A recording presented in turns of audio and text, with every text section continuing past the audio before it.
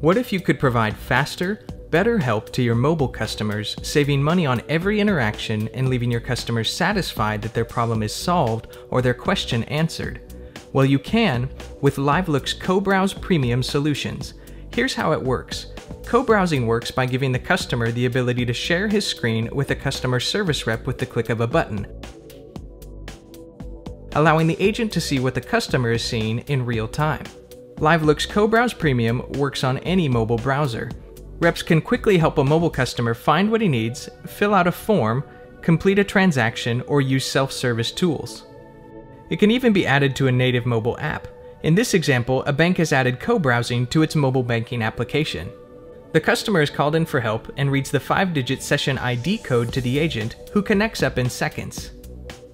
The agent can show the customer how to set up his bill pay, transfer funds, or find what he's looking for in his account.